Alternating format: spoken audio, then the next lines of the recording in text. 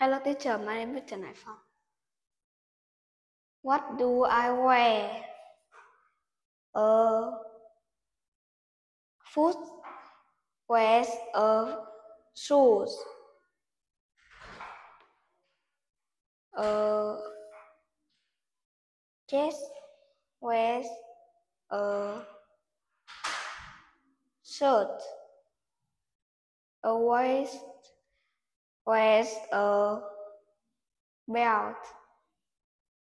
A finger wears a ring. A wrist wears a watch. A head wears a hat. A face with uh, a smile. Uh,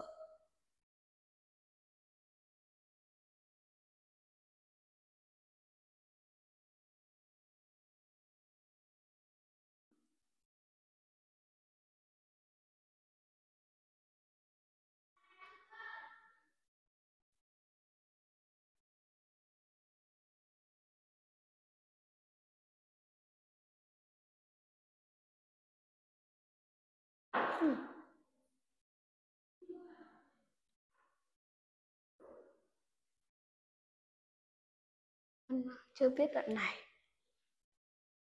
Goodbye teacher.